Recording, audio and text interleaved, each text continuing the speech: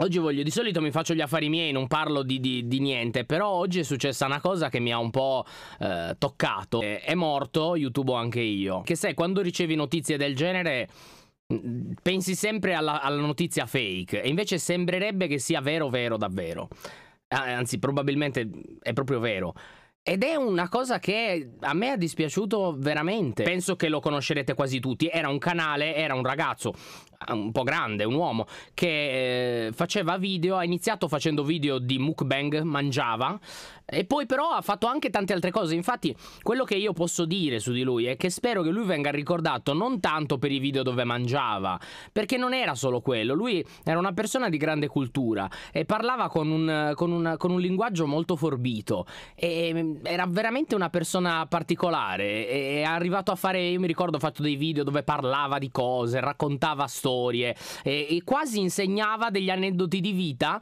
che incuriosivano parecchio anche me. Insomma ho un po' più anni di voi, quindi magari posso rimanere meno impressionato da, dalle storie degli altri, no? Perché ne ho sentite un po' di più.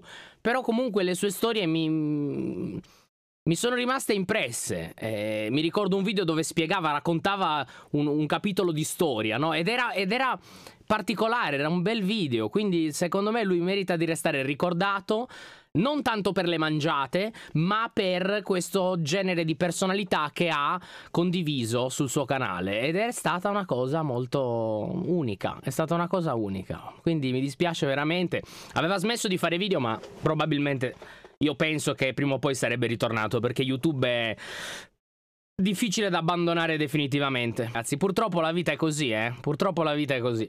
Bisogna farci un po' l'abitudine. Quindi niente, volevo dedicargli due parole e ricordarlo così con, con, affetto insieme a voi. Sono sicuro che molti lo conoscevano, veniva chiamato maestro ed era uno dei pochi che meritava di essere chiamato così perché veramente nel suo piccolo ha insegnato qualcosa. Ah, per, la, per YouTube ci sta, cazzo. Ci sta. Grande spam di F. Ma adesso voglio vedere. YouTube anche io le ultime voci su Omar Palermo. YouTube anche io è morto. Però c'è scritto bufale. Però bufale.net ragazzi, che cazzo di sito è? Cioè, non mi sembra tanto affidabile. Con tutto il rispetto. 18 agosto 2021 nella casa di cura Tirrenia Hospital ex Tricarico in Belvedere Marittimo improvvisamente è venuto a mancare all'affetto dei suoi cari il giovane Omar Palermo di 42 anni.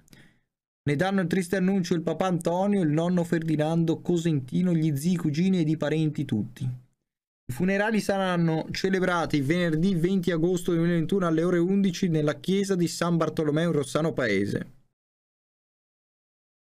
Dispiace, veramente. Grave perdita per la scena italiana, youtubica.